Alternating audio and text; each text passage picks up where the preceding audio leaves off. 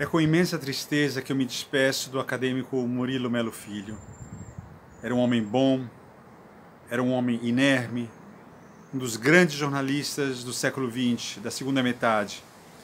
Murilo era um homem ético, marcado pela doçura, um homem que estava na contramão, portanto, da atual realidade em que vemos espíritos belicosos eh, que se afastam da paz. Murilo era um nome muito forte, um grande advogado da paz que agia com delicadeza, com sutileza, pronto para admirar aquilo que era o outro.